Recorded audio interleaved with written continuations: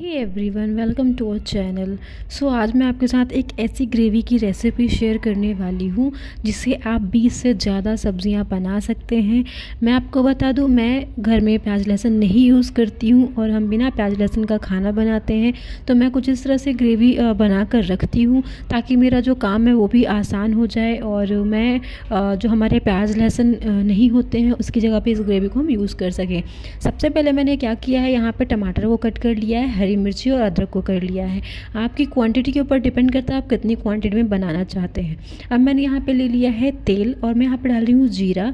यहाँ पे डाला है तेज पत्ता दालचीनी और दो से तीन मैंने यहाँ पे डाली है काली मिर्च और दो मैंने यहाँ पे हरी इलायची डाली है। साथ ही साथ मैं यहाँ पे डाल दूँगी अदरक, हरी मिर्च और अब हम इसमें डाल देंगे अपने टमाटर कटे हुए। मैंने यहाँ पे चार टमाटर कट किए हैं, उसके हिसाब से मैंने यहाँ पे ग्रेवी के मसाले डाले हैं।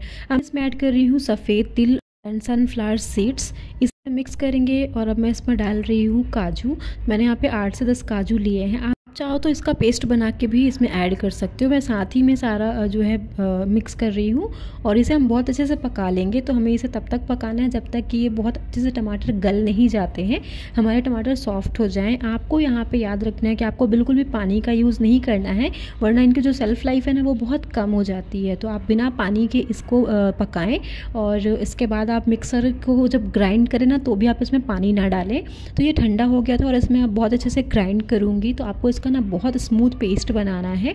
आप चाहो तो यहाँ पे थोड़ा सा ऑयल यूज़ कर सकते हो अगर आपको लगता है कि आपका पेस्ट नहीं बन पाएगा तो। बट आपको इसको ना बहुत अच्छे से पेस्ट बनाना है, दुरदुरा नहीं रखना है।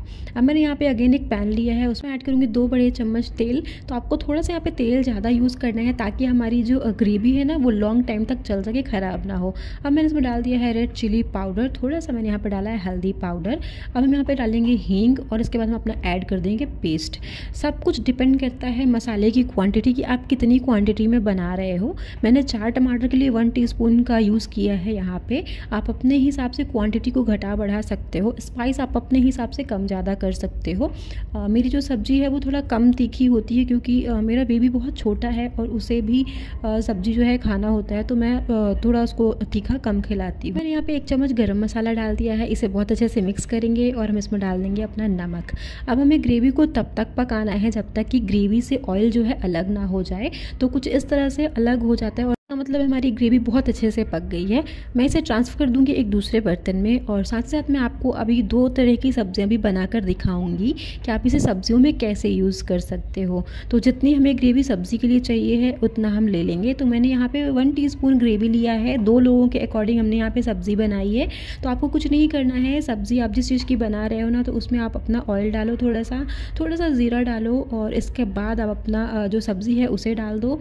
एंड यहाँ पर आप वन टी अपना जो पेस्ट है उसे डाल दो। अगर आपको मसाले थोड़ा सा कम ज़्यादा लगते हैं तो आप डाल सकते हो। तो है ना, बहुत ही ईजी सी रेसिपी और इसको आप बना के रख लो ना तो जब भी आप जल्दी खाना बनाना है तो इस तरह की ग्रेवी आप यूज़ करो। रेसिपी अच्छी लगी होगी, वीडियो अच्छा लगा, वीडियो को लाइक चैनल को सब्सक्राइब कीजिएगा। मिलती हूँ नेक्स्ट रेसिपी